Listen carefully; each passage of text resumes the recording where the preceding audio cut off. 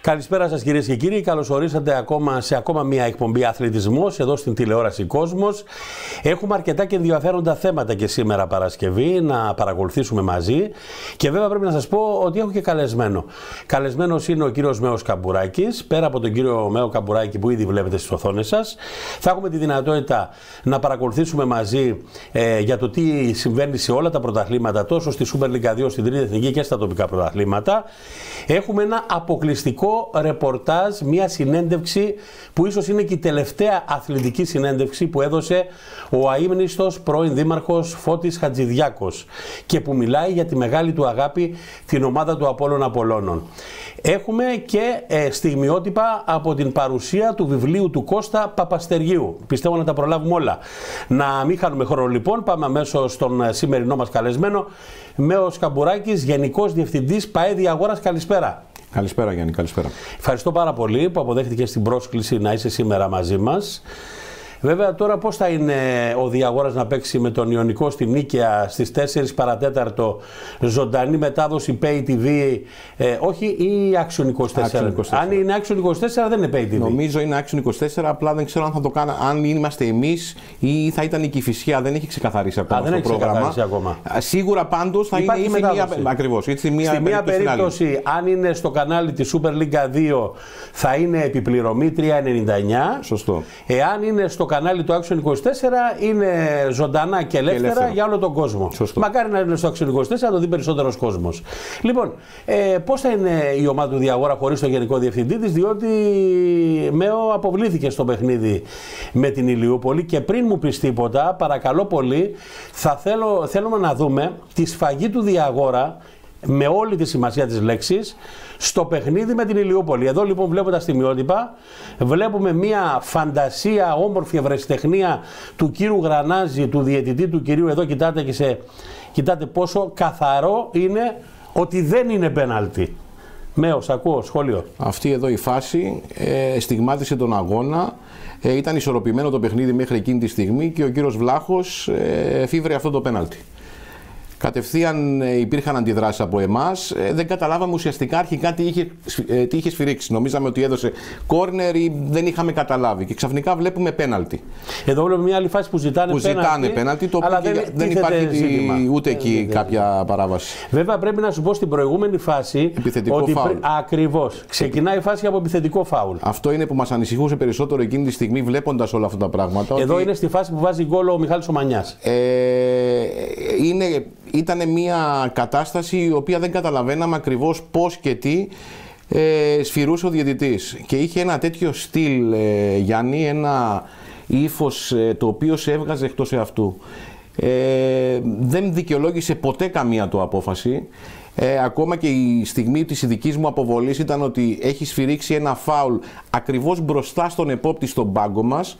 Για θέατρο ουσιαστικά ε, θέατρο έκανε ο παίχτης Ηλιούπολης ότι έφαγε αγκονιά από δικό μας παίχτη ο, δι- ο επόπτης λέει παίζεται και εκείνος από το κέντρο σφυράει και λέει φάουλ. Δηλαδή, ακόμα και τότε να γεμίσει την περιοχή μας στα τελευταία 10 λεπτά του παιχνιδιού ήταν αυτό. Μάλιστα. Ήταν μια διαιτησία η οποία έχω πάρα πολλά χρόνια να δω. ε, Και εγώ το στο ίδιο, νησί. ομολογουμένως. Ε, και ήταν και καθηγητής.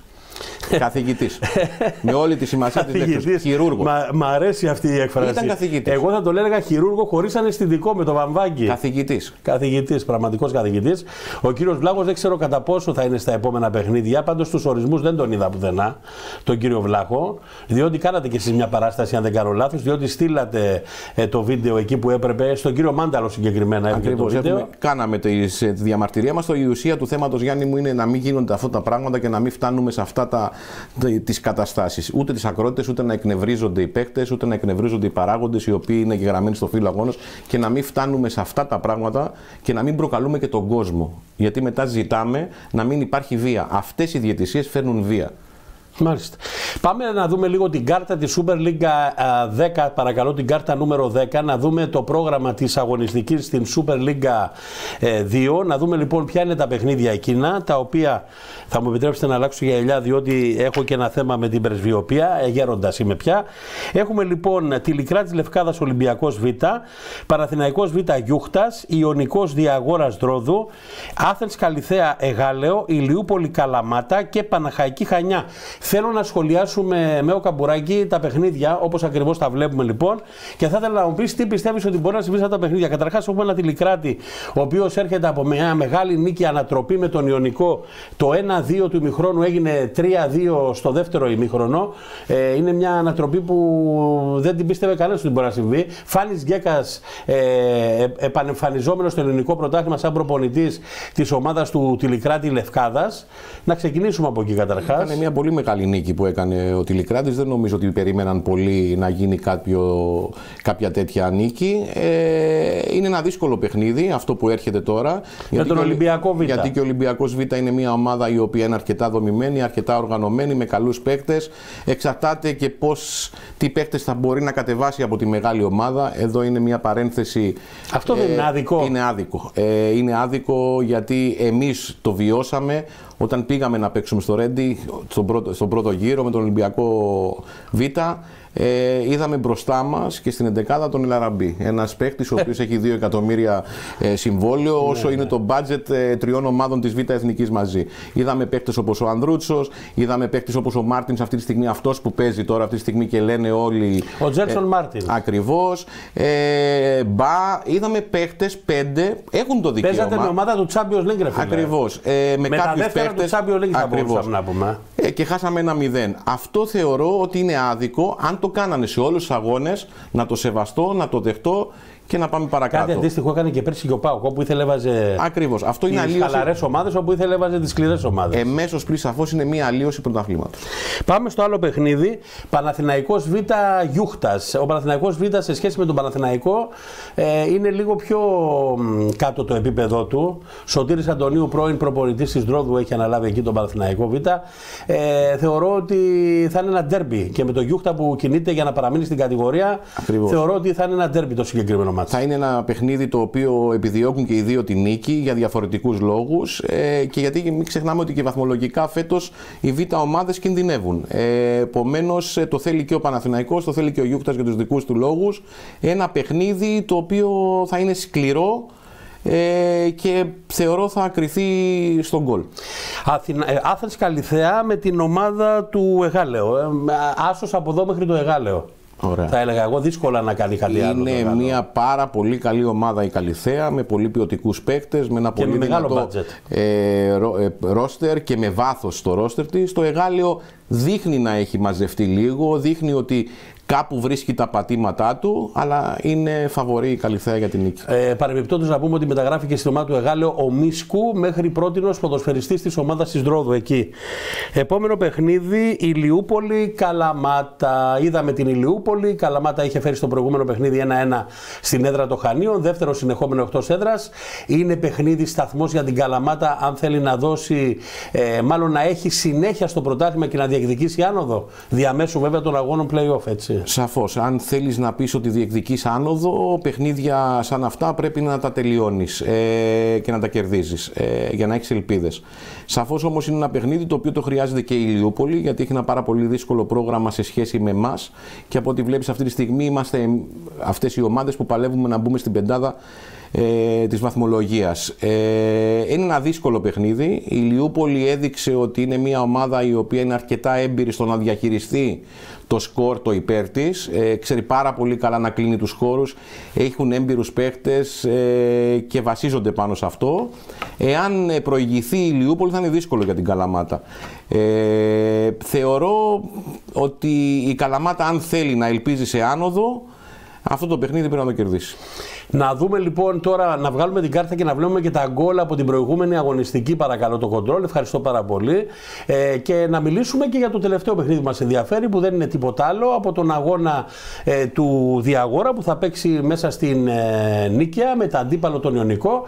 Εσείς είχατε εντυπωσιάσει στο πρώτο γύρο απέναντι στον Ιωνικό, τον είχατε κερδίσει τον Ιωνικό και μάλλον εύκολα θα έλεγα.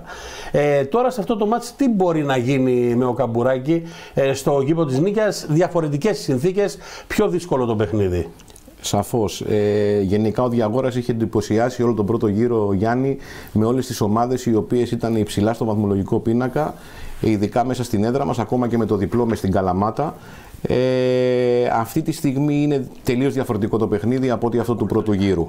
Το παιχνίδι αυτή τη στιγμή ε, πρώτον κύριο βρίσκουμε έναν Ιωνικό με άλλον προπονητή σε σχέση με αυτόν που έπαιξε εδώ πέρα. Ναι. Ένα πάρα πολύ εμπειρό προπονητή. Ε, μια ομάδα η οποία έχει κάνει κάποιες προσθήκες ε, από εκεί πέρα έχουμε και εμείς αλλάξει το ρόστερ μας αρκετά με παίχτες οι οποίοι ε, ήρθαν και πλαισιώσαν τη μεταγραφική περίοδο. Τώρα έχουμε και μια σημαντική απώλεια εδώ και πάρα πολύ καιρό στο Διαγόρα και βλέπεις ότι δεν πατούσαμε και τόσο καλά αμυντικά. Είναι ο Δημητρίου που ακόμα είναι εκτός ε, θεωρώ ότι είναι ένα παιχνίδι το οποίο θα παλέψουμε να πάρουμε. Και το πέναλτι που εκτέλεσε η Λίουπολη με το Διαγόρα, αυτό το μαϊμού πέναλτι. Είναι ένα παιχνίδι το οποίο θέλουμε να προσπα... και θα προσπαθήσουμε όπως πάντα να πάρουμε ό,τι μπορούμε από αυτό το παιχνίδι. Πάντως, ε, βλέποντας βέβαια και τα στιγμιότυπα από τα παιχνίδια και συζητώντας για την Super League 2 ε, ΜΕΟ, ε, πρέπει να πούμε ότι ο Διαγόρας φέτος ε, κανείς δεν περίμενε ότι στον πρώτο γύρο θα είχε αυτή την εντυπωσιακή πραγματικά πορεία και ότι θα ήταν στην πρώτη τριάδα των ομάδων εκείνων που θα διεκδικούσαν κάτι καλό στην περίοδο των play-off. Τώρα είσαστε εκτός play-off. Μπορεί ο Διαγόρας να επανακάμψει και να μπει στους αγώνες play-off; Θεωρώ πως μπορεί, ναι, μπορεί. Ε, αν τον αφήσουν θα μπορέσει. Αυτό το αν τον αφήσουν με βάζει σε προβληματισμό. Ε, το προβληματισμό τον είδαμε μπροστά μας, νομίζω, σαν και εσύ στο γήπεδο, με τέτοιες διατησίε. Αν ξαναεπανεληφθούν μέσα στο γήπεδό μας, πάει να πει ότι κάποιος δεν μας θέλει να είμαστε εκεί που είμαστε. Μάλιστα. Αυτός είναι και ο μοναδικός λόγος, έτσι; Ε, θεωρώ πως ναι. Αυτή τη στιγμή η ομάδα δείχνει ότι λειτουργεί από τον πρώτο μέχρι τον τελευταίο, ενισχύεται. Οι μεταγραφές που γίνονται είναι ουσίας, ε, δεν είναι εντυπωσιασμού. Είναι εκεί που πονούσε η ομάδα, προσπαθούμε να δυναμώσουμε και το κάνουμε για να μπορεί η ομάδα να ξαναμπεί πάλι σε αυτή την τροχιά που ήταν πριν τις διακοπές των Χριστουγέννων. Ε, τώρα να σε ρωτήσω κάτι ε, σχετικά με τις μεταγραφές. Ε, πήρατε τρεις ή τέσσερις τώρα αυτή την περίοδο; Αυτή τη στιγμή έχουμε κάνει ε, πήραμε τρεις και, και πέντε. Ε. Πέντε παίχτες και ελευθερώσαμε δύο. Ουσιαστικά είναι συν τρεις οι παίχτες οι οποίοι αυξάνουν το ρόστερ το υπάρχουν. Ε, δηλαδή είναι ο Παπατόλιο, είναι ο Λαδάς ο τερματοφύλακας, είναι ο Στέριο Δημόπουλος ο οποίος ανακοινώθηκε τώρα. Σήμερα, μαζί με τον Λαδά, ανακοινώθηκε είναι, σήμερα. Είναι ο παίχτης που πήραμε από το Παναθηνα... που ήταν του Παναθηναϊκού. Μου ξεφεύγει το όνομα αυτή τη στιγμή. Θα το θυμηθούμε στην πορεία, συμβαίνουν και αυτά. Συμβαίνουν και αυτά. Είναι... Ε, το γύρα σούγαρ έρχεται μόνο για το Αλτσχάιμερ. Ακριβώ, ναι. ακριβώς. Συμφωνώ μαζί σου. και, και αυτή τη στιγμή έχουμε απελευθερώσει τον, Ιγνατε, τον Ιγνάτεβιτς στο στόπερ γιατί κρατούσε θέση μεγάλου για να μπορούμε να κάνουμε τη μεταγραφή του Δημοπούλου. Και ο Πάρντο ήταν πριν που έγινε η μετατροπή που έφυγε ο Πάρντο, ελευθερώθηκε και ήρθε ο Παπατόλιο και κράτησε τη θέση Πάντως του μεγάλου. Έφυγε και ο Πάρντο, έτσι. Έφυγε, έφυγε. Πάρντο, Πάρντο και, και Ιγνάτεβιτς αυτή τη στιγμή είναι παρελθόν του διαγόρα. Έχουν λύσει τα συμβόλαιά τους και έχουμε αντικατασταθεί οι θέσεις των μεγάλων που κρατούσαν αυτοί οι δύο παίκτες με τον Παπατόλιο και με τον ε, Δημόπουλο. Αυτή τη στιγμή. Και έχουν βγει και τα δελτία. Το δελτίο Πάντως αυτό σημαίνει ότι ο Διαγόρα δεν αφήνει στην τύχη του ε, την υπόθεση είσοδο στα playoff, έτσι, κακά τα ψέματα. Όχι. Στόχος βέβαια της ομάδας για να μην ε, ξεφύγουμε και από τον αρχικό μας στόχο, ούτε να πετάμε στα σύννεφα, ήταν η γρήγορη σωτηρία και να σωθεί η ομάδα. Ε, και πάνω σε αυτό που είπες, θα ανοίξω μια παρένθεση ότι κανένας δεν περίμενε τον Διαγόρα ε, να είναι στην πρώτη τριάδα, τετράδα τέλος πάντων στην αρχή, στον πρώτο γύρο. Εγώ θα το πάω λίγο πιο πίσω. Κανένας δεν περίμενε από την αρχή που αναλάβαμε τον Διαγόρα ξανά ο Διαγόρας να έχει φτάσει μέχρι εδώ και να επιβιώσει. Πολλοί ήταν αυτοί ναι, που δεν το περίμεναν. Τα χρήματα που ήταν στον αέρα ήταν πάρα πολλά. Ο Διαγόρας έχει επιβιώσει, έχει δυνατό οργανισμό. Έχετε ένα μπαν βέβαια, έτσι. Τα μπαν έχουν τελειώσει, Γιάννη μου, γι' αυτό και μπορούμε και κάνουμε αυτή τη στιγμή μεταγραφές. Δελτία βγάλαμε. Βγάλαμε τον Παπατόλιο, δελτίο έπαιξε. Άρα για να μπορεί να εκδοθεί δελτίο στην ΕΠΟ, πάει να πει ότι έχουν τακτοποιηθεί τα μπαν. Είτε έχουν εξοφληθεί κάποια, είτε έχουν ρυθμιστεί κάποια. Αυτή τη στιγμή ο Διαγόρας βρήκε μπροστά του 180.000 ευρώ μικρή, μπαν. Μία μικρή λεπτομέρεια για να μπορέσει να μπει ο Διαγόρας στο play-off, ε, αν τα καταφέρει βαθμολογικά, υπάρχουν κάποιες ιδιαιτερότητες που πρέπει να ξεπεραστούν από τη δίκη του Διαγόρα; Θεωρώ ότι είναι κάποιοι.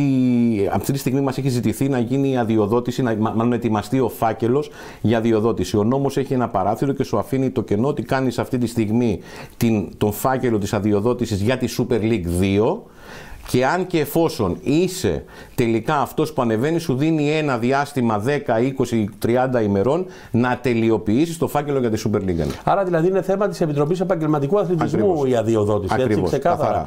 Και έχω την αίσθηση ότι δεν είναι μόνο ο Διαγόρας που πρέπει να κάνει αυτό το φάκελο. Όλες οι ομάδες. είναι και άλλες ομάδες. Ακριβώς. Αυτή τη στιγμή μιλάμε για όλες τις ομάδες που συμμετέχουν αυτή τη στιγμή να κάνουν φάκελο για τη Super League 2 ξανά από την αρχή. Θέλω να σε ρωτήσω ε, να διευκρινίσουμε στον κόσμο που μας παρακολουθεί, γιατί δεν το έχει καταλάβει, ε, πώς γίνεται η διαδικασία των play-off και πώς γίνεται η δικα- διαδικασία των play-out. Οι πέντε πρώτες ομάδες, οι οποίες θα τερματίσουν βαθμολογικά στις, από την 1 έως την 5 και την 5 συμπεριλαμβανομένου, θα κάνουν ένα πρωτάθλημα μόνες τους. Από εκεί και πέρα οι άλλες ομάδες ε, θα κάνουν ένα πρωτάθλημα πάλι ξεχωριστό, το οποίο θα βγάλει τις ομάδες, η- η- την μία ομάδα που θα ανέβει, η πάνω, και από κάτω είναι σίγουρα άλλες τρεις ομάδες που θα πλησιώσουν την τελευταία θέση του βαθμολογικού πίνακα. Μάλιστα. Για να αποχωρήσουν οι ομάδες από την, να πέσουν. ουσιαστικά. Άρα στην ουσία δηλαδή πο- πέφτουν πόσες; Ε, πέφτουν τέσσερις ομάδες. Γιατί είναι τέσσερις όμιλοι στην Ακριβώς. ΓΑΜΑ Εθνική. Αλλά υποτίθεται ότι από την επόμενη χρονιά θα μειωθούν οι όμιλοι στην τρίτη εθνική κατηγορία. Σαφώς. Ε, θέλουμε να δούμε τώρα πώς ακριβώς θα γίνει αυτό το πράγμα. Ε, θεωρώ ότι θα πάμε για έναν όμιλο. Έναν Προσωπική- όμιλο ολόκληρο; Ε, μπορεί, να, μπορεί να το Των δούμε 20 και αυτό. ομάδων; Μπορεί να το δούμε και αυτό Γιάννη, σε ένα μεγάλο πρωτάθλημα. Εγώ θεωρώ ότι επειδή τα έξοδα τα οικονομικά Τεράστια. θα είναι τεράστια και για να πας στη Θεσσαλονίκη θες 15.000 το παιχνίδι, ε, μάλλον θα είναι ένας όμιλος βορρά και ένας όμιλος νότο. Μακάρι να, ξαναεξι... να και είναι έτσι, τελειώνει και για η να... ιστορία. αλλά θα πάει κάποια στιγμή στον έναν όμιλο. Θα πάει κάποια στιγμή Πιστεύω στον θα όμιλο, πάει. έτσι. Πιστεύω Όπως θα πάει. ε, σε όλα τα προηγμένα ε, πρωταθλήματα της Ευρώπης, με μια διαφορά βέβαια που εμείς δεν είμαστε και τόσο προηγμένοι, έτσι. Ακριβώς. Πάμε σε ένα άλλο τομέα που λέγεται οικονομική ενίσχυση των ομάδων της Super League 2. Ε, τι λεφτά έχει πάρει ο Διαγόρας και τι προσδοκόμενα έχετε τα αμέσως επόμενα, το αμέσως συγγνώμη, ε, επόμενο διάστημα. Για την ποδοσφαιρική σεζόν ε, 23-24, ο Διαγόρας κατάφερε και όλες οι ομάδες, δηλαδή όχι μόνο ο Διαγόρας, να πάρουμε μια χορηγία από το Action, το οποίο αφορά τα τηλεοπτικά αυτά τώρα που λέμε ότι μας δείχνουν τα παιχνίδια. Ε, αν δεν κάνω λάθος ήταν 17.000 ευρώ ε, και τίποτα άλλο. Μικρή ένεση είναι αυτή. Και τίποτα άλλο. Μικρή Ε, ένεση. ε, Τι, υποτε- 17 είναι και δεν θα ξαναπάρετε άλλα; ε, νομίζω έχει ακόμα μία δόση, άλλα 10.000 η κάθε ομάδα για να κλείσει το πακέτο των 27.000 μαζί με το, μαζί με το ΦΠΑ. Κοίταξε, ένα νούμερο περίπου στις 27.000 για τηλεοπτικά δικαιώματα σε σχέση με τα προηγούμενα που δεν πέρατε, παίρνατε τίποτα, είναι από το 0 πήγατε στο 27, είναι ένα μεγάλο το νούμερο. Τεράστιο. Ε, σε σχέση με αυτό που είχαμε και με αυτό που έχουμε. Ε, από εκεί και πέρα τώρα εμείς είμαστε σε αναμονή όπως όλες οι ομάδες ακόμα από τη Super League 1 μέχρι και τα ερασιτεχνικά σωματεία και τα τοπικά να δούμε τι θα γίνει ακριβώς με την Kia ε, ως προς την ε, διανομή των κερδών ε, από το στοίχημα. Ε, αυτή τη στιγμή δείχνει... Αυτό είναι για 150 χιλιάρικα μιλάνε. Ναι, έτσι. ε, συ- Βγήκε έχουν- ο κύριος Βρούτσης και έκανε έχει μια κάνει μια ανακοίνωση πριν από αύξηση, μια εβδομάδα. έχει έκανε κάνει μια... αύξηση του Ιδιαίτερα ποσοστού. στα νησιωτικά. Αυτό είναι ξεχωριστό κομμάτι. είναι ξεχωριστό κομμάτι, ξεχωριστό έτσι. κομμάτι. Μάλιστα. Αυτό που ε, έχει κάνει είναι ότι έχει αυξήσει το ποσοστό που θα πάρει κάθε η Λίγκα γενικά για να μπορεί να μοιραστεί στη Super League 2. Έτσι ώστε από τα. Επιτέλους, ένας ένας υπουργός αθλητισμού, ο οποίος αντιλαμβάνεται την νησιωτικότητα και τα προβλήματα των ομάδων. Έτσι, Το γιατί έχει ο θέσει. προηγούμενος Έχει- είχαμε προβλήματα, δεν καταλάβαινε τίποτα. Καθόλου. ε, Ενώ άλλα έλεγε, άλλα έκανε στο τέλος της ε, χρονιάς. Αν θυμάστε καλά με το θέμα του στοιχήματος, περιμέναμε 260.000 ευρώ σύμφωνα με την Και τι είχατε αρχική πάρει; οικία και πήραμε 98-100.000 ευρώ. Τρεις φορές κάτω. Ε, Τελείως διαφορετικό. Εσύ όταν ξεκινάς όμως ε, και γνωρίζοντας ότι μια οικία έχει υπογραφεί και ότι θα πάρει αυτό το ποσοστό από τα, τόσα, από τα 68 εκατομμύρια ευρώ που Κάνεις και μοιράζονται. ένα όχι μόνο, προϋπολογισμό, ε, προϋπο- κάνεις τον προπολογισμό σου, αλλά Ακριβώς. όταν με ορκωτό λογιστή δίνεις ε, το budget το οποίο σου ζητάει η Επιτροπή πώς θα είναι τα έσοδά σου, τα έξοδά σου έναν υπολογισμό, σε πετάει η ίδια η κυβέρνηση έξω από αυτόν τον προπολογισμό. Ε, μετά μην μιλάμε ότι δεν είναι υγιές το πρωτάθλημα, ότι ακούμε για στημένα παιχνίδια, για πλήρωτους παίχτες, για χίλια δυο πράγματα. Θα ξεκινήσει το πρωτάθλημα της Super League 1 με κόσμο από τις 12 του, Φευλα... του Φεβρουαρίου. Πώς το βλέπεις; Ναι, δείχνει ότι ξεκινάει. Δείχνει ότι θα ξεκινήσει και βλέπω ότι ήδη και το πρόγραμμα το οποίο έχει βγει, το οποίο το ανακοινώσαν στην τελευταία του συνεδρίαση η Λίγκα, το πρώτο παιχνίδι, αν δεν κάνω λάθος, είναι Πάο Ολυμπιακός με, με, με κόσμο. Με κόσμο. Με έτσι. κόσμο. Ε, και μάλιστα έκανε και μια δήλωση ο κύριος Χρυσοχοίδης: Πάρτε τα παιδιά σας και πηγαίνετε στο γήπεδο. Και βγήκαν οι διαιτητές και λένε εσείς ελάτε λέει, με τα παιδιά, εμείς πρέπει εκείνη την ημέρα να κρύψουμε τις οικογένειές μας. δηλαδή, βλέπεις κάποια πράγματα τα οποία είναι αντικρούμενα. Είναι αντικρούμενα, εντελώς αντικρούμενα. Είναι να γελάς. Ναι, ναι. Πόσο θα βοηθήσει η παρουσία του Προέδρου της Ένωσης Ποδοσφαιρικών Σωματείων Δεκανήσου και εκτελεστικού μέλους της ΕΠΟ του Παναγιώτη Διακοφώτη στην Super League 2, γιατί έχει εντρυφήσει στο άθλημα πάρα πολύ ο Παναγιώτης, ο Πρόεδρος. Δεν ξέρω ε, αν έχει συζητήσει μαζί του και πόσο μπορεί να αλλάξει μια κατάσταση στη Super League 2 η παρουσία του εκπροσώπου της ΕΠΟ μέσα στην SL2. Ε, σαφώς και θα είναι μια βοήθεια για τις ομάδες ε, τις νησιωτικές του Δωδεκανήσου ειδικά για εμάς τώρα αυτή τη στιγμή που αντιπροσωπεύουμε τα Δωδεκάνησα στη Super League 2, είναι ένας άνθρωπος ο οποίος έχει αφιερώσει πάρα πολύ χρόνο στο ποδοσφαιρικό κομμάτι, έχει αναβαθμίσει την ΕΠΣ Δωδεκανήσου και το γνωρίζουμε και το ξέρουμε. Εύχομαι να τα καταφέρει και να περάσει ε, διάφορα ε, ιδέες τις οποίες έχει και για τις νησιωτικές ομάδες και για το καλό του Διαγόρα. Μάλιστα. Ο Διαγόρας στο τελευταίο χρονικό διάστημα έχει ξεκινήσει ένα marketing ε, για το γήπεδο το είδαμε με κάποια πλάνα drones που έβγαλε στη δημοσιότητα. Ε, προσπαθεί να δημιουργήσει κάποιες συνθήκες και μάλιστα στο θέμα των αθλητικών εγκαταστάσεων ε, ε, που έχουν δοθεί από τον κύριο Καμπουράκη στην, από την προηγούμενη Δημοτική Αρχή, το συνονόματός σου, τον Δήμαρχο τον Αντώνη τον Καμπουράκη. Έχει πάρθει απόφαση Διοικητικού Συμβουλίου Μπράβο. ότι θα γίνει παραχώρηση, ακόμα δεν έχουμε πάρει το χαρτί. Είναι Μήπως κάτι το οποίο πιέζουμε. η κοινότητα Κοσκινού να συνυπογράψει; Νομίζω, νομίζω ότι έχει γίνει μια συνεδρίαση εκεί υπήρχαν κάποιες φωνές, κάποιες ε, αντιφατικές έτσι λίγο αντιδράσεις. Θεωρώ ότι είναι κάτι το οποίο θα το ξεπεράσουμε και θεωρώ ότι είναι τώρα είμαστε, θα πιέσουμε προς αυτή την κατεύθυνση και εμείς σαν διαγόρας γιατί θέλουμε να ξέρουμε και θέλουμε να ξεκινήσουμε να κάνουμε αυτό το όνειρο πραγματικότητα. Είναι ικανή και αναγκαία συνθήκη η δημιουργία ε, ιδιόκτητων εντός ή εκτός εισαγωγικών εγκαταστάσεων για να μπορέσει ένα σωματείο να αποκτήσει ε, τη φερεγγιότητα απέναντι στον κόσμο για να φέρει τα παιδιά του σε κάποιες ακαδημίες. Και τη φερεγγιότητα και την έγκλη. Ε, και αν θέλεις να λες ότι θες να πας σε μια μεγαλύτερη κατηγορία, Γιάννη, χωρίς ένα αθλητικό κέντρο δεν μπορείς να πας πουθενά. Όταν αυτή τη στιγμή η ομάδα ε, δεν έχει γήπεδο να προπονηθεί και αναγκάζεται και ευτυχώς υπάρχει και το γήπεδο της ΕΠ στο Καρακόνερο και μπορούμε και κάνουμε προπονήσεις εκεί μέσα, ε, δεν μπορείς να έχεις απαιτήσεις ότι θέλεις να πας αλφαεθνική. Ποιοι, ποιοι παίχτες θα έρθουν για να μπορούν να πάνε να προπονηθούν σε πλαστικό; Ναι, είναι και αυτό.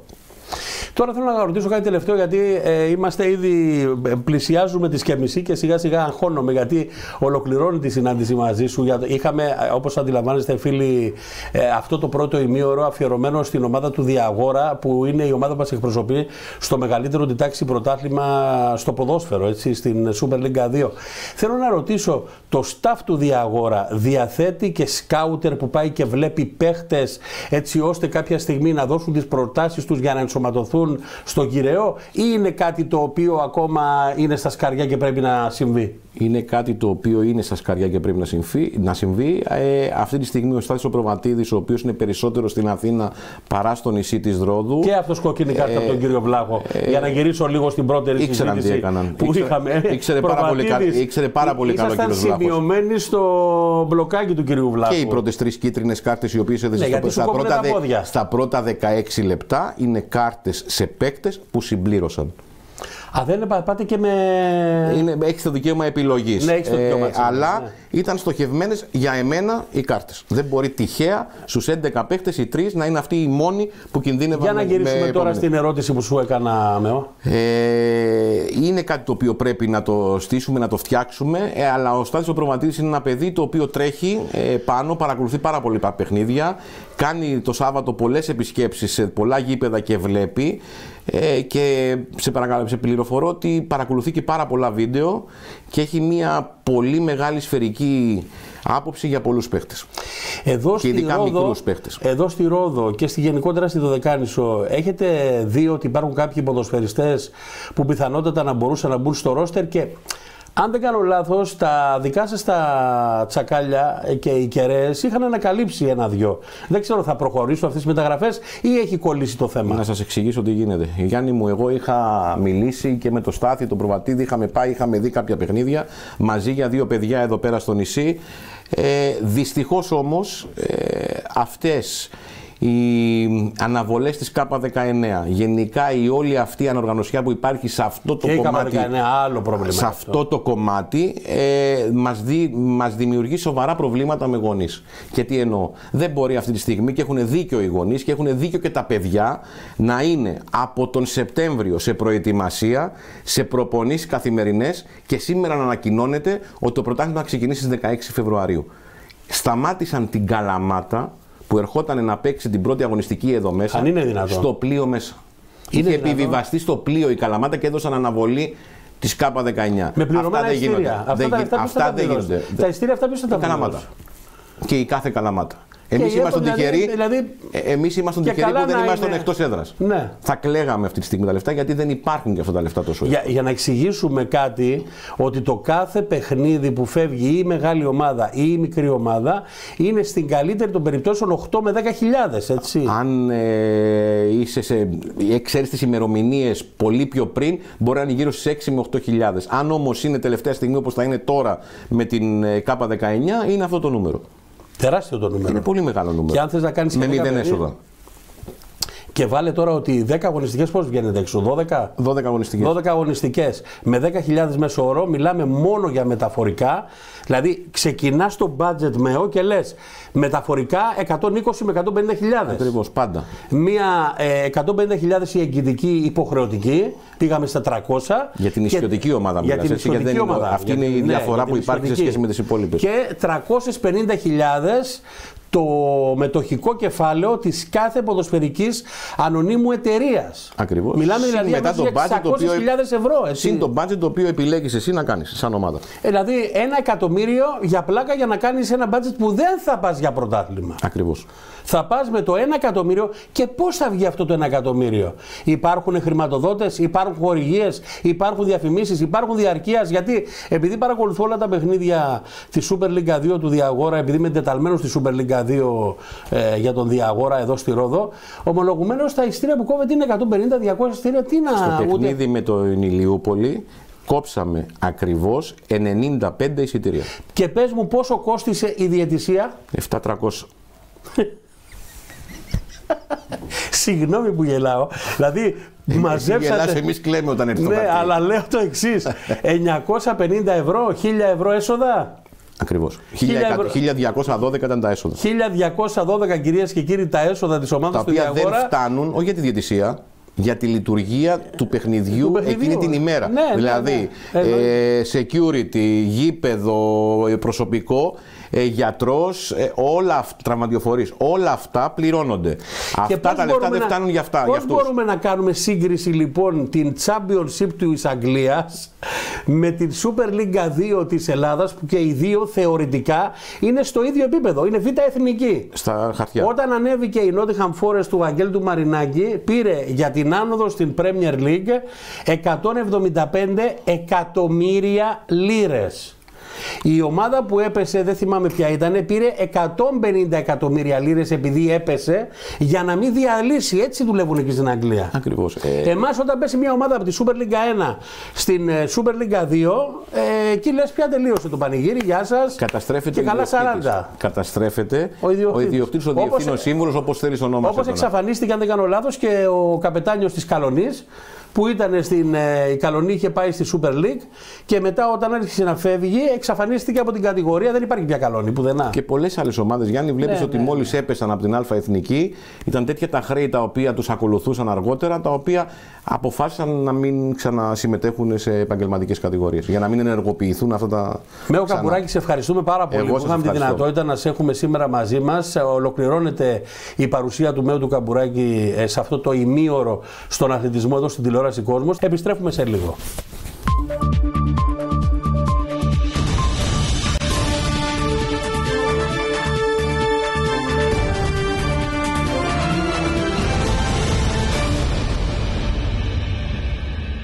Επιστρέψαμε στην τηλεόραση Κόσμος κυρίες και κύριοι, δεύτερη εκπομπή σε αυτό το είναι προσπάθεια που κάνουμε εδώ στην τηλεόραση Κόσμος για τη δική σας καλύτερη αθλητική ενημέρωση. Κάθε Παρασκευή 2 με 3, μας παρακολουθείτε βέβαια και το βράδυ 11 με 12 και στο YouTube βέβαια του TV Κόσμος. Μπορείτε να μας παρακολουθήσετε ό,τι ώρα θέλετε και αύριο και μεθαύριο και τη μεταύριο όποτε γουστάρετε. Λοιπόν, πάλι σας διαβάσω μια είδηση που βγήκε πριν από λίγο και που έχει σχέση για την ομάδα των υποτών με τον Απόλο Καλυθιών η Πειθαρχική Επιτροπή σχετικά με την από 22 Εντεκάτου του 24 ένσταση του Σωματείου Υπότες ε, Μεσαιωνικής Πόλης κατά του κύρους του αγώνα της τρίτης ερασιτεχνική κατηγορίας που διεξήχθη με το Σωματείο Απόλο Καλυθιών λόγω αντικανονικής συμμετοχής ποδοσφαιριστών από το αντίπαλο Σωματείο, κάνει ομόφωνα δεχτεί την ένσταση διότι οι δύο ελεγχόμενοι ποδοσφαιριστές του Σωματείου Απόλο Καλυθιών αγωνίστηκαν την 21η Πρώτη του 24, ημέρα Παρασκευή, με την πρώτη ομάδα του Απόλο Καλυθιών. Με λίγα λόγια να σας πω λοιπόν ότι χάνει το παιχνίδι ο Απόλο Καλυθιών και το παίρνει η ομάδα των υποτών η οποία ανεβαίνει κι άλλος στην βαθμολογία. Πάμε τώρα να περάσουμε να επιστρέψουμε πίσω στην τρίτη εθνική κατηγορία. Έχουμε σημαντικά παιχνίδια και για αυτό εδώ το πρωτάθλημα. Να ξεκινήσουμε να σας ενημερώσουμε τι μπορείτε να δείτε το Σαββατοκύριακο. Την Κυριακή στις 11.30 το πρωί. Ερμιονίδα Αόπιλίου. Πανεγιάλιος Μύκονος είναι στην μία το μεσημέρι. Στο Οικονομίδιο Δημοτικό Γυμναστήριο της Ιαλισσού στην μία και μισή το μεσημέρι, εδώ στα 30, η Ιάλισσος Ελά Σύρου. Στο γήπεδο του Μαρκό, Μαρκό Βίζας Μεγάρων στις 3, την ίδια ώρα. Στο Μεσολόγγι, η Αθλητική Ένωση Μεσολογγίου αντιμετωπίζει τη Ρόδο. Αστέρας Βάρης Παναργιακός, Εράνη Φιλιατρών Πάο Βάρδας, Σταφάντου στις 3 η ώρα μπορείτε να πάτε να το δείτε και διαζώσεις. Η Αέρα Φάντου αντιμετωπίζει την πρωτοπόρο ομάδα της Θίελας Ραφίνας και το τελευταίο παιχνίδι είναι της Κορίνθου με τον Πανελευσινιακό. Βέβαια πρέπει να σας πω ότι για τον κύριο Κούγια που είναι στην Κόρινθο ε, ομολογουμένως ε, βγήκε μια πολύ σκληρή τιμωρία 2,5 μηνών. Του απαγορεύτηκε η είσοδος στο γήπεδο. Όπως και για τον πρόεδρο της Δρόδου τον κύριο Αντώνη Μαρτίνη του απαγορεύτηκε η είσοδος στο γήπεδο για 7 αγωνιστικές ημέρες. Πολύ σκληρές τιμωρίες. Βέβαια υπάρχει και το ενδεχόμενο της έφεσης να μειωθούν αυτές οι αγωνιστικές. Και όταν λέμε για γήπεδο δεν εννοούμε αγωνιστικό χώρο. Μιλάμε ότι δεν μπορεί να εισέλθει στο γήπεδο για να παρακολουθήσει το μάτς και ο κύριος Κούγιας αλλά και ο κύριος Μαρτίνης. Σε περίπτωση που παραβιάσουν τη συγκεκριμένη εντολή της Ελληνικής Ποδοσφαιρικής Ομοσπονδίας, για κάθε φορά και για κάθε παραβίαση θα χρεώνεται η ομάδα της ε, Κορίνθου ή της Δρόμου ανάλογα με το ποσό των 1.667 ευρώ. Φεύγουμε από την τρίτη εθνική κατηγορία και περνάμε στην πρώτη τοπική κατηγορία να δούμε τα παιχνίδια. Στο Βάτι αύριο στις 3 παρατέταρτο, Διαγόρας Βατίου Καταβιά, στη Λάρδο, Ηρακλής Λάρδου Κλεάνθη, στην ίδια ώρα στον Αρχάγγελο, Άρης Αρχαγγέλου Κλεόβουλος, στις Καλυθιές, Απόλλων Καλυθιών Ηρακλής Μαριτσών. Στο πλαίσιο της 7ης αγωνιστικής, Ποσειδών Καρπάθου Πάο Κόνεξ αναβολή στο Καρακόνερο την Κυριακή, στις 8 η ώρα το βράδυ. Στο Ζιπάρι την Κυριακή στις 3 παρατέταρτο, Αναγέννης Ασφενδιού, Δόξα Καρδάμενας, στο Φίλιππος Δελαπόρτας, Φίβος Κρεμαστής Πάο την ερχόμενη Τρίτη στην μία το μεσημέρι. Στη Λίνδο, Κλεόβουλος Διαγόρας Βατίου την Τετάρτη 31 του μήνα στις 3 παρατέταρτο και στα Κοσκινού, Διγενής Κοσκινού Ποσδόν Καρπάθου ε, είναι την Τετάρτη στις 7.30 το βράδυ. Αυτά και για την πρώτη τοπική κατηγορία. Πάμε να δούμε στην δεύτερη τοπική κατηγορία τα παιχνίδια. Ξεκινώντας αύριο Σάββατο, μία και μισή, Σίμη Απόλων Απολώνων. Το Σάββατο στο Καρακόνερο Πάνθυρες Δήμητρα στις 4.30. Στο Φίλιππος Δελαπόρτα Ασπίδα Σαλάκου Οφιστρίου στις 3 παρατέταρτο. Στον Άγιο Σίδρο Άγιος θα παίξει με τη Χάλκη επίσης την ίδια ώρα. Και στο Βάτι ο Πάσας Λιπιού με τον Ακουσίλο επίσης την ίδια ώρα την Κυριακή. Στο δεύτερο όμιλο. Αστέρας Μασάρων Τίλολς είναι αυτή την ώρα, είναι 3-0 το αποτέλεσμα προς το παρόν. Στο γήπεδο Θεολόγου Δαμάγιο Ατρόμητος Δημηλιάς 3 παρατέταρτο. Στον Άγιο Σουλά την ίδια ώρα Ευκλής Ορφαία. Στον Έμπονα Αναγέννηση Έμπονα Αθλέτικο Αφάντου 3 παρατέταρτο και στην Ίσυρο ο Πολυβότη θα παίξει με τον Ταξιάρχη την Τρίτη στις 11.30 το πρωί. Πάμε τώρα κυρίες και κύριοι και στον Όμιλο Νήσο να δούμε τι γίνεται και εκεί. Έχουμε τρία παιχνίδια στο παλιό στάδιο Ανταγόρα. Στις 7 ε, παρατέταρτο αντίμαχος Σκό θα παίξει με τον Αόλη Ψιωτών. Στο Λακί της Λέρου την Κυριακή στις 2 και 4 Αθλητική Ένωση Λέρου Αργοναύτε Καλύμνου. Στην Κάλυμνο ο Καλυμνιακός με το βαθύ την Κυριακή στις 2 και μισή το μεσημέρι. Και στο παλιό στάδιο Ανταγόρα την ερχόμενη Τρίτη η Κώστα φιλοξενήσει τον Νικαγόρα στις 3 και μισή το απόγευμα. Περνάμε και στην τελευταία κάρτα για αυτά τα πρωταθλήματα. Στην τρίτη τοπική κατηγορία έχουμε την αέρα Φάντου Β να παίζει με την Ομόνια Γεναδίου στα Φάντου την Κυριακή στις 11 παρατέταρτο. Στην Αρχίπολη την Κυριακή ο Εθνικός Αρχίπολης θα παίξει με την Ασπίδα Πολακιάς. Είναι επίσης στις 3 παρατέταρτο. Στα Κοσκινού Ευαγόρας Ντρόδου Αού Καλαβαρδών. Στο Καρακόνερο Δωρεάς Κλεόβουλο Β. Στις 4 και 4 το, το, αυτό το παιχνίδι. Διγενής Β Πόλο Καλυφιό στα Κοσκινού στις 6 και στις 6.30 στο Καρακόνερο Υπότες Πάο Κρόδου. Και πάμε να να δούμε και τις μειχτές ομάδες. Διότι στις μειχτές ομάδες παρακαλώ έχουμε την Κυριακή να παίζουν παιχνίδι η ΚΑΠΑ 14 στις 11 η ώρα το πρωί με την Ένωση Ποδοσφαιρικών Σωματείων Λέσβου και στην 1 η ώρα το μεσημέρι ΚΑΠΑ 16 με το αντίστοιχο συγκρότημα. Επίσης την Κυριακή νομίζω ότι είναι τα παιδιά μας όλα εκεί. Θα πρέπει να πάμε να στηρίξουμε την ενέργεια που θα κάνουν, μάλλον το παιχνίδια που θα δώσουν οι μειχτές ομάδες της ΚΑΠΑ 14 και της ΚΑΠΑ 16 16 είναι πολύ σημαντικό να βρεθούν όχι μόνο οι γονείς αλλά και φίλαθλοι και να στηρίξουν το μέλλον του δωδεκανησιακού ποδοσφαίρου. Φεύγουμε λοιπόν από όλα αυτά και τώρα πάμε σε κάτι το οποίο είναι αφιερωμένο στη μνήμη του αείμνηστου Φώτη Χατζηδιάκου. Ο Φώτης Χατζηδιάκος διετέλεσε πρόεδρος στην ομάδα του Απόλλων Απολώνων. Ήταν αγαπημένη του ομάδα η ομάδα του Απόλλων Απολώνων και πραγματικά νομίζω ότι την τελευταία του συνέντευξη την έδωσε σε μένα στο χωριό Απόλλωνα όπου μίλησε για την ομάδα του Απόλλων Απολάνων ο Φώτης Χατζηδιάκος. Ήταν τον Απρίλιο του 2023 και πραγματικά είναι συγκλονιστική συνέντευξη, είναι ιστορικά στοιχεία που δεν τα ξέρει κανείς για την ομάδα του Απόλλων Απολώνων. Ένα λοιπόν μικρό αφιέρωμα στη μνήμη του Φώτη Χατζηδιάκου στη συνέντευξη που ακολουθεί. Καλώς ήρθατε στον Απόλλωνα της Ρόδου. Με, μας δίνεται μια μεγάλη δυνατότητα και ευκαιρία ιστορικά να κάνουμε μια αναδρομή στην ίδρυση του Αθλητικού Συλλόγου Απολώνων από την περίοδο της Ιταλοκρατίας μέχρι και σήμερα.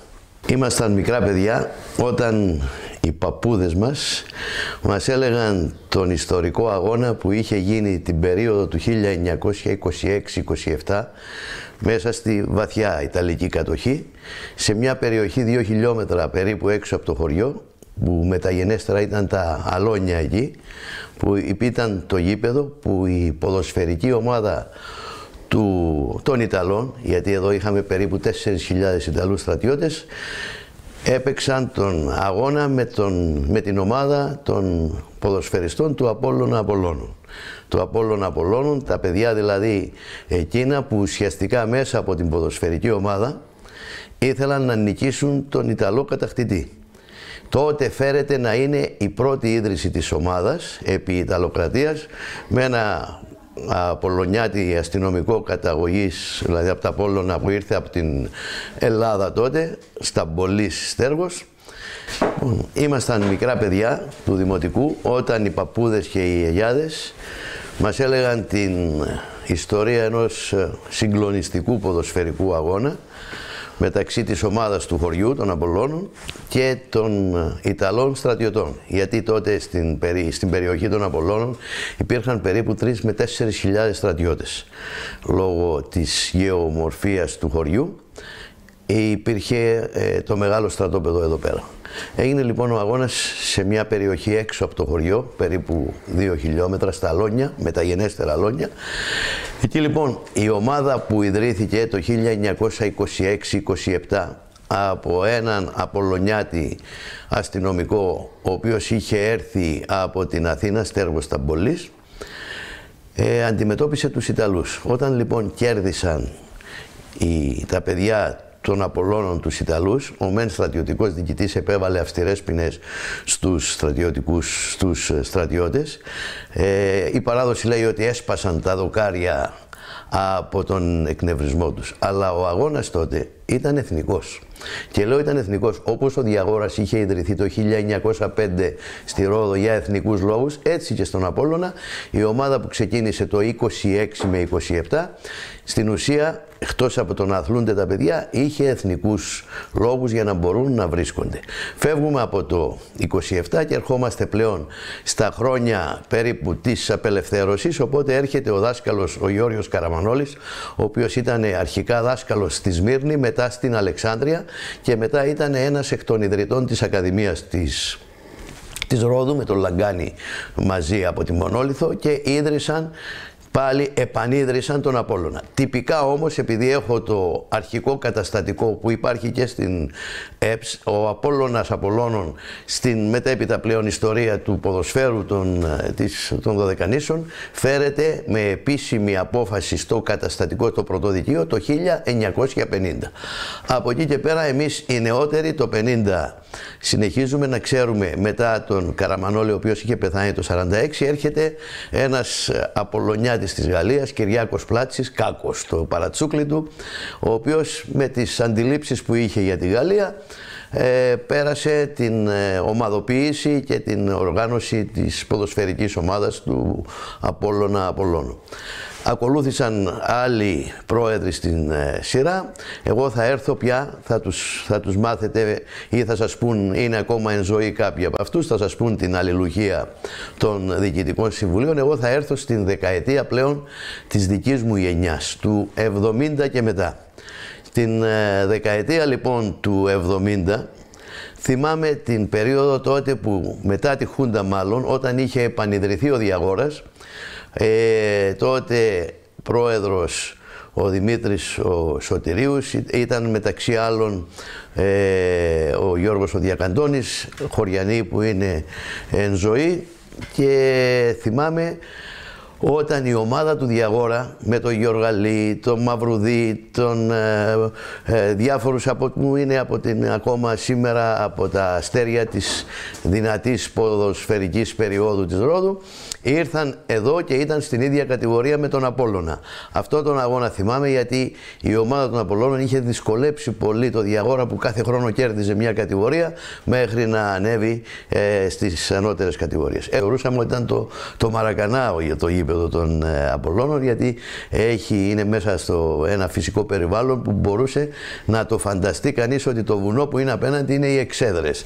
Ε, έβλεπες τους φιλάθλους μέσα στα δέντρα, μέσα από τα στίχους να κραυγάζουν, να πανηγυρίζουν, να ενθαρρύνουν τους ε, ποδοσφαιριστές.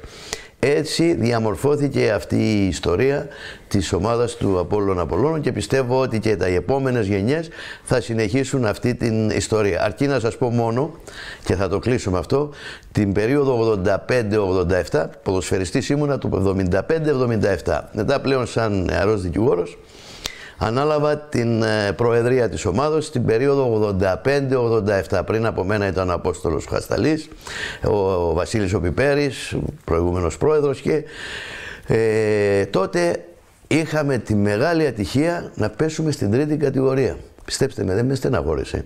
Δεν με στεναχώρησε γιατί ήθελα να ξεκινήσω από την τρίτη εραστεχνική κατηγορία με τα δικά μας παιδιά, να ανέβουμε μια κατηγορία, να νιώσουμε τη χαρά ότι πήραμε πρωτάθλημα, έστω στην τρίτη κατηγορία, οι δυσκολίες απίστευτες και αφάνταστες.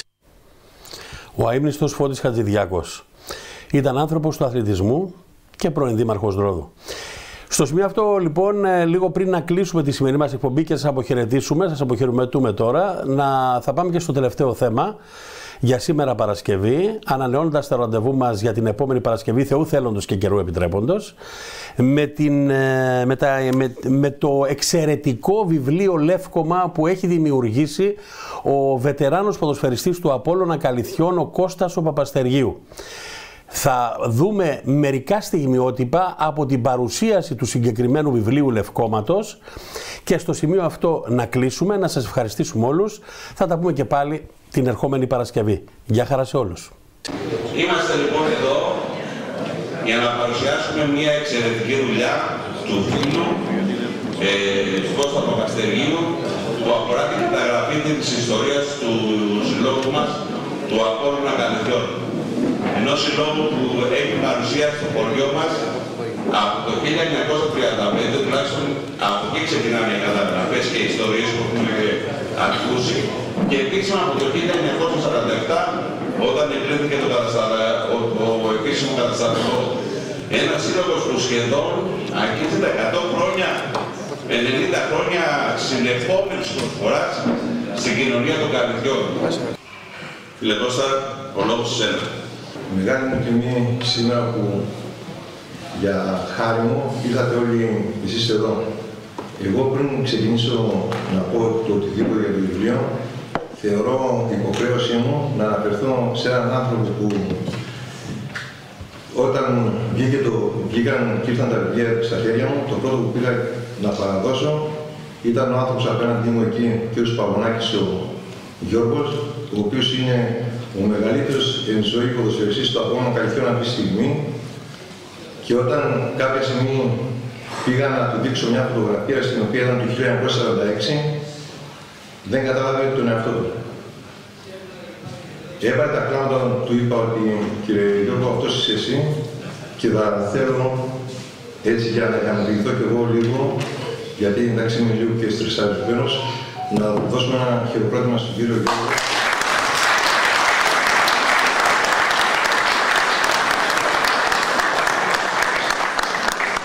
Συνάμα χαρά μου μεγάλη είναι γιατί σήμερα εδώ έχουν έρθει πάρα πολλοί παλιοί ποδοσφαιριστές και θέλω να ξεκινήσω να ευχαριστήσω πρώτα την Εκκλησία, τον Αδεσιμάδο Παπαγιώργη και τον Παπαθεόδουλο, οι οποίοι μας έκαναν, μου κάναν την να παραδεχθούν σήμερα εδώ. Να ευχαριστήσω για τη φιλοξενία τον πρόεδρο τοπικού, τον κύριο Σωτρίλη, ο οποίος αποφάσισε να κάνουμε εδώ αυτή τη εκδήλωση. Να ευχαριστήσω τη βουλευτή του χωριού μας, την κυρία Μίκα, σας λέω με τα μικρά γιατί έχω το θάρρος, να συγχαρώ και να για μια επικοδομική τετραετία, πενταετία, ότι είναι σε όλους τους συμβούλους που έχουν εκλεγεί, από το Σωτήρι, το Στάθη, τον Τάσο, τον Γιάννη, τον πρόεδρο, τον παλιό μου πρόεδρο στη Ρόδο, τον κύριο Κάλιστο, και το, το Γιάννη είπα το Φλεβάρι, το Μιχαλάκη τον είπα, άφησα τον κύριο Σωτρίδη, γιατί ο κύριος Θωμάς με βοήθησε σε ένα κομμάτι που θα σας εξηγήσω παρακάτω τι ακριβώς βοήθεια είχα, όπως και ο Τάσος ο Διάκο, ο Τάσος ο Σουάνος. Λοιπόν, εγώ αυτό το οποίο έκανα ακριβώς σε ένα μήνα κλείνω τέσσερα χρόνια. Ε, κάποιοι μου είπαν ότι είσαι πολύ μου πει τρελός που κάθεσαι και ασχολείσαι. Εγώ είχα την αρρώστια αυτή, μια και είχα όλο το χρονικό ε, το χρόνο μπροστά μου λόγω του, του COVID και άρχισα να κάνω μια προσωπική ουσιαστικά το έκανα για, για μένα κατάφερα και μπήκα στα σπίτια των Καλυθενών και τους ευχαριστώ όλους τους Καλυθενούς παλιούς και νέους που μου δώσανε φωτογραφίες τις οποίες ε, βλέπετε μέσα, θα δείτε όσοι δεν έχετε δει μέσα στο βιβλίο. Ένα μεγάλο πρόβλημα που αντιμετώπισα ήταν τα ονόματα, γιατί όλες οι φωτογραφίες ήταν χωρίς ονόματα. Ευτυχώς λοιπόν είχα τον Αντώνη τον Αρβηρού και τον Γιώργο τον Γιωργά, δύο παλιούς παράγοντες του ποδοσφαίρου, φίλους, οι οποίοι με βοηθήσανε να βρω άκρη όσον αφορά τα ονόματα να ευχαριστήσω πάρα πολύ τον αρχηγό της ομάδας μας, τον Νίκο τον Κυριαζή, τον οποίο τον βλέπω απέναντί μου και τον χαίρομαι, τον Σωτήρη τον Κουμπιό, τον Παπαμίτη τον Πιτσάντζο, ο οποίος επίσης μου έδωσε πάρα πολλές φωτογραφίες. Κάποια στιγμή είδα και τον Γιώργο Τωράδο, ο Χατζηνικόλας ο Σταμάτης, τώρα με συγχωρείτε, αλλά ο Νίκος ο Ταχραμάνης που είναι πίσω, ο Στέργος ο Σαβιού, ο οποίος είναι από τους παλιούς της ομάδος μας, ο, Γιωργα, ε, ο, ο Μανώλης ο Γρηγοράς και οπωσδήποτε τον πρόεδρο του σημερινού αγώνου Καλυθιών της Διοίκησης, τον Κώστα Δημητριάδη, ο οποίος μου έκανε πιστεύω ένα, μας έδωσε τη δυνατότητα να κάνουμε κάτι το οποίο επίσης θα μείνει τουλάχιστον για κάποια χρόνια. Ε, Ξεκινώντας για το βιβλίο τώρα, όπως σας είπα, ξεκίνησα σιγά σιγά με φωτογραφίες. Από τις φωτογραφίες αυτές καθόμουν τα βράδια και ασχολήθηκα. Ενοχλούσα κάποια στιγμή για, για τα ονόματα των ποδοσφαιριστών το φίλο μου τον Καζέλη, τον Σάβα, το σημερινό εξιάκο. Το μόνο πράγμα που δεν έχω κάνει και ήταν παράληψη, αλλά εγγνώση μου δεν το έκανα γιατί δεν ήθελα να, να ξεχάσω κάποιους από τους ε, παράγοντες. Είναι οι διοικήσεις που πέρασαν τη δεκαετία τη δική μου, αλλά και την πριν από μένα και μετά από μένα. Γι' αυτόν τον λόγο και δεν έχω αναφέρει μέσα διοικήσεις. Στα μέσα αυτό το βιβλίο θα δείτε τους πρόεδρους που κατά καιρούς ήταν στην ομάδα. Θα δείτε ποδοσφαιριστές που πιστεύω ότι αν ξέχασα κάποιον ήταν γιατί δεν υπήρχε στη φωτογραφία, αλλά να ξέρετε ότι έκανα προσπάθεια μεγάλη και ενόχλησα τον οποιοδήποτε πέρασε από τον Απόλλωνα και ήταν σε οποιοδήποτε σημείο της ε, Ελλάδος. Ε, το μόνο προπονητή που δεν έχω βάλει φωτογραφία νομίζω είναι ο φίλος μου ο Ανδρέας Τσακμακίδης, σημερινός πρόεδρος των Παλεμάχων. Γιατί δεν ξέρω, Ανδρέα, διαβήκα τη φωτογραφία. Η παρουσία μου δηλώνει ότι καλώς αναφέρθηκες. λοιπόν, τέλος πάντων. Ε, να ξέρετε ότι εγώ ήρθα εδώ το 1981 και στην ομάδα με έφερε ο αλυσμένος ο Τακραμάνης ο Κυριάκος με τον... με κάποιους άλλους τέλος πάντων μην αναφερθώ, ο Κυριάκος ήταν ο, ο κυριότερος παράγοντας που ήρθα εδώ. Από εκεί και πέρα έκασα 10 χρόνια και έμεινα εδώ γιατί όπως μου φερθήκαν σωστά όλοι στις καλικές έτσι και εγώ προσπάθησα να τα αποδώσω αυτό που έκανα, τουλάχιστον στη μνήμη κάποιων ανθρώπων οι οποίοι έχουν φύγει από τη ζωή και κυρίως ένας άνθρωπος ο οποίος έπαιξε μεγάλο ρόλο σε μένα. Αυτός ήταν ο Σταυρής Ολευτέρης.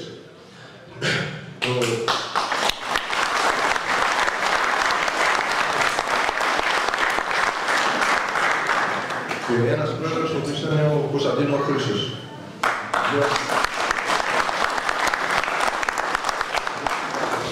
Ήταν δύο άνθρωποι οι οποίοι δεν ξέρω γιατί, αλλά είχα μια ιδιαίτερη αδυναμία και σχέση μαζί τους. Χωρίς να έχω κανένα πρόβλημα με όλους τους άλλους. Στην προσπάθειά μου, τέλος πάντων του βιβλίου, να φτάσω εκεί που έφτασα, θα πρέπει να ευχαριστήσω το τρενάκι, τους υπαλλήλους του βιβλιοπολίου Τρενάκι, που τους ενοχλούσα σχεδόν για ένα χρόνο και τα υπόλοιπα τρία χρόνια όταν πήγα στο Γιώργο τον Δρακιό και στα Κολύμπια και καθίσαμε τουλάχιστον τρία χρόνια με δυο υπαλλήλους και κάναμε αυτό που τέλος πάντων καταφέραμε να κάνουμε. Θα πρέπει να ευχαριστήσω για το βιβλίο τον πρώην Δήμαρχο Ρόδου, τον κύριο Καπουράκη, αλλά να ξέρετε ένα πράγμα, ότι αν δεν έπαιρνα τη διαβεβαίωση από τον σημερινό δήμαρχό μας, τον Αλέξη τον Κολιάδη, δεν θα γινόταν τίποτα. Γιατί ο, ο κύριος Κολιάδης ήταν αυτός που με παρότεινε και μου είπε προχώρα και εγώ είμαι κοντάς σου.